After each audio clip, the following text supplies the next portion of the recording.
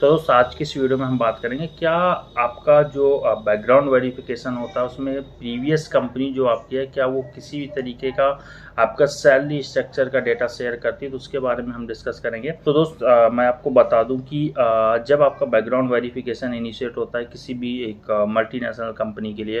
And वो सारे के सारे डॉक्यूमेंट्स आपके अटैच होते हैं like your experience letter offer letter joining letter relieving letter सारे डॉक्यूमेंट्स अटैच होते हैं एंड प्रीवियस ऑर्गेनाइजेशन को वो शेयर किए जाते हैं for the background verification and यहाँ पे पर्टिकुलर पार्ट आता है आपकी सैलरी का तो ऐसा कुछ भी नहीं है। अगर company in case background verification की जो कंपनी होती है, अगर वो डिमांड भी करती है आपके प्रीवियस ऑर्गेनाइजेशन किसी भी तरीके का सैलरी स्ट्रक्चर या सैलरी डेटा शेयर करने के लिए तो वो कंपनी डायरेक्टली मना कर देती है कि नहीं, ये मेरा इंटरनल मैटर है या ये आप कह लो कि सैलरी किसी भी तरीके का डिस्क्लोज नहीं होता है बट इनका क्या एक रूल होता है इंटरनल एक रूल होता है उन कंपनीज़ का। तो एक तरीके से एज अ फ्रेंड या एज अ पेरेंट्स कंपनी जो काम करते हैं तो वहाँ पे आपका डेटा शेयर हो जाता है, जो कि डिफरेंट डिफरेंट काइंड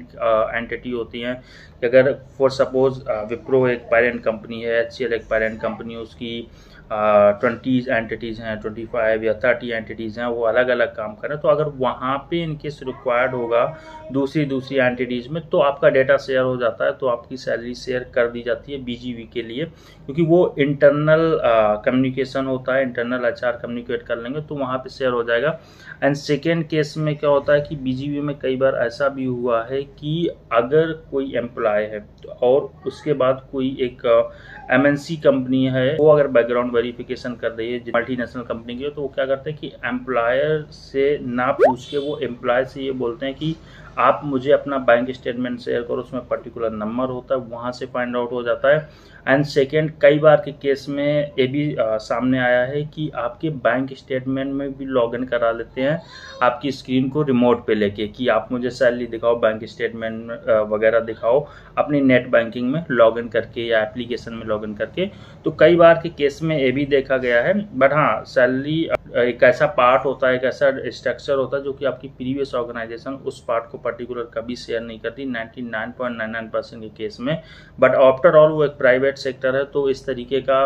सैलरी अगर कम ज़्यादा कुछ भी कर रहे हो तो मैक्स श्योर थोड़ा बहुत वहाँ पे रिस्क होगा। तो ये, मैं तो ये चीज़ रिकमेंड नहीं करूँगा कि कि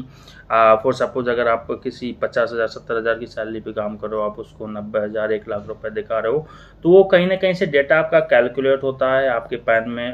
पैन कार्ड में भी टैक्सेस वगैरह वहाँ पे कैलकुलेट होते हैं। तो रिस्क होता है वहाँ पे फाइंड आउट होने का तो आ, मैं रिकमेंड करूँगा कि ये सारी चीज़ें ना करें। बट स्टिल अगर पेरेंट्स कंपनी होगी तो आपका डेटा लीक हो सकता है आपका डेटा शेयर हो सकता है।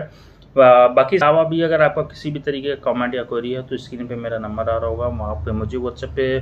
वन टू वन कांटेक्ट कर सकते हो, वहाँ पे चार्जेबल कॉल होती है। एंड इसके अलावा अगर आपको कुछ भी कमेंट या क्वेरी है, नीचे मुझे कमेंट सेक्शन में बता सकते हो, मैं उसका रिप्लाई ज़रूर दूँगा। मेरा नाम है शुभम मैं मिलता हूँ अपने स्टूडियो में till then have a great moment and don't forget to like and subscribe thank you so much for coming